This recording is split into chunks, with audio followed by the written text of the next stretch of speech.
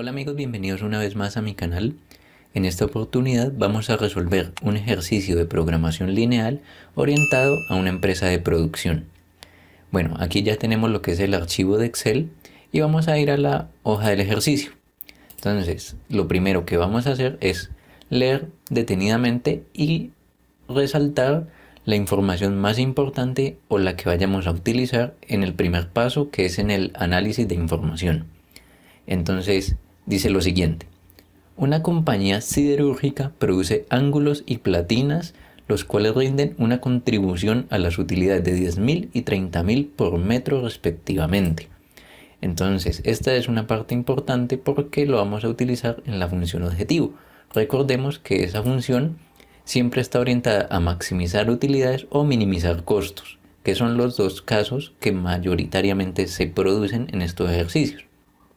Ahora bien, para la producción de estos artículos, la empresa cuenta con una disponibilidad semanal de 250 libras de acero y 210 horas hombre.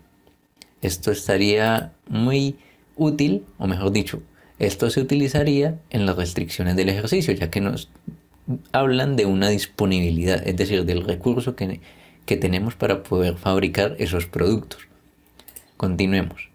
Mediante un estudio se ha establecido que para producir un metro de ángulo se requieren 5 libras de acero y 3 horas de trabajo, mientras que para producir un metro de platina se requieren 5 libras de acero y 7 horas de trabajo. Entonces aquí tendríamos lo necesario para establecer también más restricciones. Y finalmente nos preguntan, ¿qué cantidad de cada uno de los productos se debe fabricar si se sabe que máximo se venderán 20 metros de platina diariamente. Y volvemos a resaltar que también es una restricción. Ahora bien, aquí ya he preparado esta tablita en la cual he ingresado la información que teníamos en el texto. Vamos a revisarla un momento. Tenemos la parte de recurso que se refiere al acero como tal. Acá se habla, se habla de que es en libras. También tenemos lo que es horas hombre y la utilidad por metro que nos deja cada uno de los productos.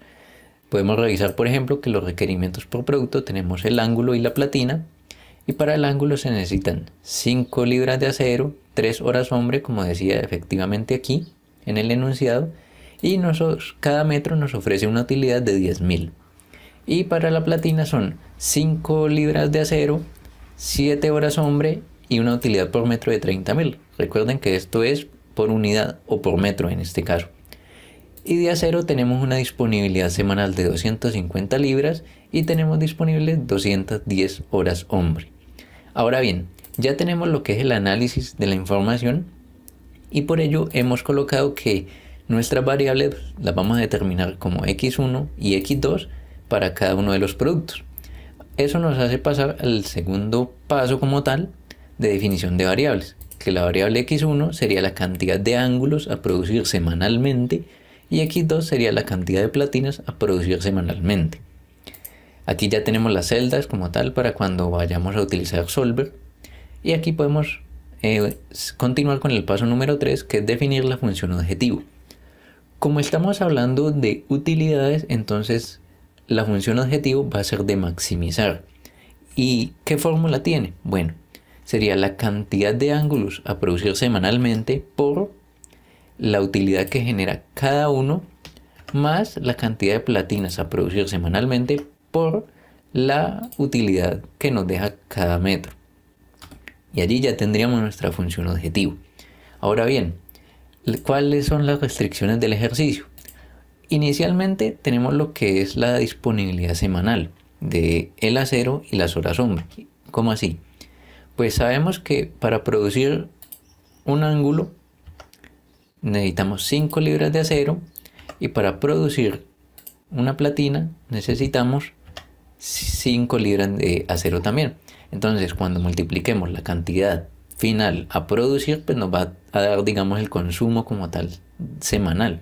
Y esa cantidad debe ser menor o igual a 250. Espero que hasta allí esté todo claro.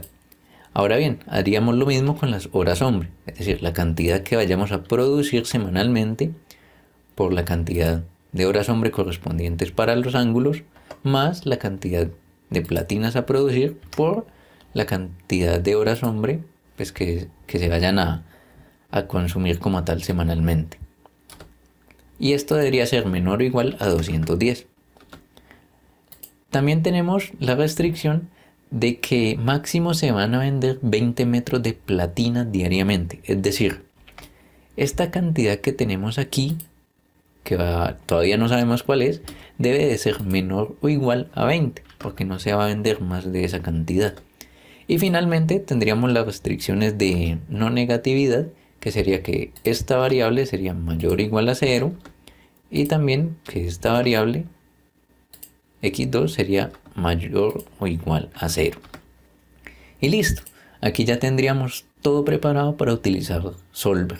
Entonces recuerden que nos vamos a la pestaña Datos, Análisis, aquí Solver. Y aquí lo primero es el objetivo, es decir, la función objetivo que está en esta celda. Luego vamos a seleccionar si es para maximizar, minimizar o un valor exacto. En nuestro caso de maximizar, allí está bien. Ahora debemos seleccionar las celdas de las variables, que son estas dos que dejamos aquí. Y ahora vamos con las restricciones. Entonces vamos a ir agregando una o varias al mismo tiempo en caso de que tengan el mismo símbolo de restricción, que en este caso si vemos hay tres con este mismo símbolo. Entonces podríamos seleccionar estas tres, menor o igual, y las restricciones también en ese orden. Vamos a agregar, eh, tenemos estas que son las de no negatividad. Vamos a agregar la última, seleccionamos aquí, cambiamos el símbolo de la restricción y listo, y damos a aceptar. Ya tenemos esto aquí, eh, marcamos convertir variables sin restricciones en no negativas y aquí podemos seleccionar el método de resolución, que en mi caso voy a utilizar el método simplex. Finalmente doy clic en resolver y aquí me dice Solver que encontró una solución que cumple todas las restricciones. Damos clic en aceptar y podemos observar que la cantidad de ángulos a producir semanalmente va a ser 23,33 y la cantidad de platinas a producir semanalmente van a ser 20 para lograr una utilidad semanal de 833.333.33 y como vemos todas las restricciones se están cumpliendo. Y finalmente tenemos lo que es dar la conclusión que sería eh, para obtener una utilidad semanal de 833 mil para colocarlo aquí 33 debemos producir 23 33 ángulos y 20 platinas.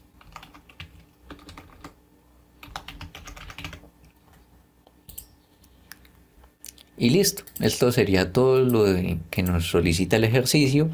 Ya habríamos utilizado Solver y habríamos pues analizado el ejercicio, definido las variables, establecer la función objetivo, las restricciones del ejercicio y finalmente la conclusión. Recuerden siempre estos cinco pasos para analizar y resolver los ejercicios de programación lineal. Y bueno amigos, esto ha sido todo por hoy. Espero que les sea de utilidad este tutorial. Recuerden darle me gusta, compartir con las personas a las que les pueda también ser de ayuda este tipo de video. Y nos vemos en una próxima ocasión. Hasta pronto.